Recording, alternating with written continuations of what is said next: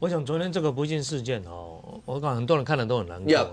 但是我们应该要先找出两个原因哦。第一个就是失事的原因，嗯第二个就是致致命的原因。嗯，因为第像第二点的话，他已经有跳伞了，要照理讲他他已经完成他的逃生的程序。嗯那为什么他什么状况下，然后让他在这个过程受到重伤，嗯啊而不幸死亡嘛？这个飞行员遇到特殊状况的话，他这个这个都是一一定的风险。要但是我们最重要的就是说，你必须要能够确保飞行员在这种状况下，他能够顺利的逃生。嗯那这逃生过程有没有发生任何的失误或者不该有的？嗯，哦，所以我我觉得要分两块来讲。第一个就是他为什么会会致命，那第二个就是为什么会失事。嗯那为什么会失事？第一点，大家很多人说这个 F 五一老旧啊这战机非常老旧哦。实际上战机是这样哈、它跟车子一样啊。你说一部车出厂，这部车能用多少年？嗯不知道不，知道哈。嗯战斗机也一样，你也不知道它可以使用多少年。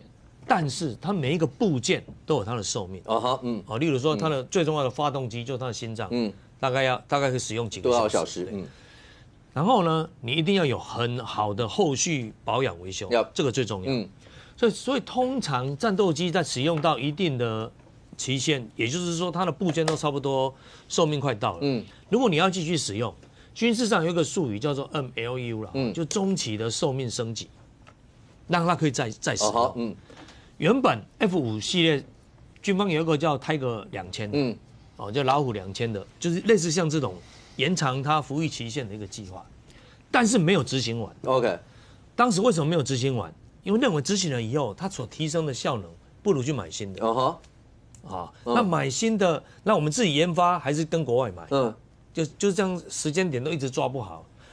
后来我们有一阵子曾经跟意大利买，嗯后来我们现在又发发展了永鹰，永鹰就是今年六月总统啊，就这个这这个总统去看啊，就是我们最新的这种高高教机了，就高级教练机。但是永鹰号它真正的完全的生产要到二零二八年，嗯那二零二八年到离现在还有八年呢。那发生了这个事情，我们希望它可以提早，就像刚刚郑浩讲的，现在大概希望军方可以提升提前到二零二四年，否则了哈，你如果要完成一架飞机的那种服役年限的延长，不是没有了，嗯。现在技术也做得到。嗯。我例如美国有一架叫 V 五十轰炸机，然后大家一定听过，嗯。这是冷战时期非常出名的一架轰炸机，它一九五四年生产，嗯。一九六二年停产，六十岁了。嗯美国最近把它做一个延长服役期限，嗯。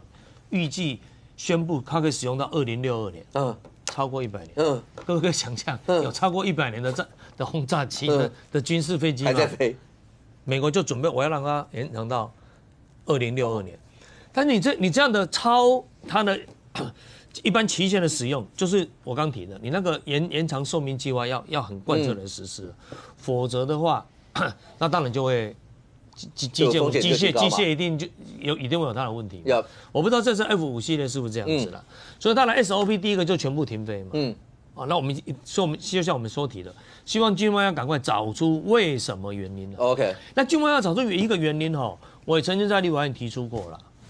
过去军方军方的飞机哈，包括那个参谋总长掉下来那个，嗯 那那那架飞直升机也是一样，都是谁去调查？嗯我们国家有一个行直属行政院的单位叫运输安全委员会。但是他的调查项目就是不排除军方的，嗯哼。我觉得我觉得这是个问题，嗯。因为 你如果自己调查自己，你很容易不会查得很很透彻，嗯嗯。这个一定是要引入公正的第三者嗯。来协助调查嘛。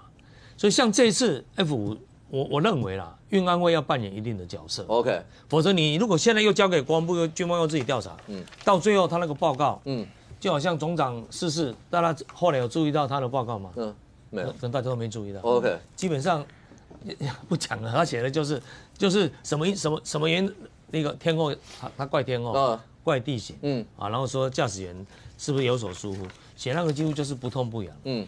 我们认为每一次不幸的事件，一个最重要的就是不要让它再发生。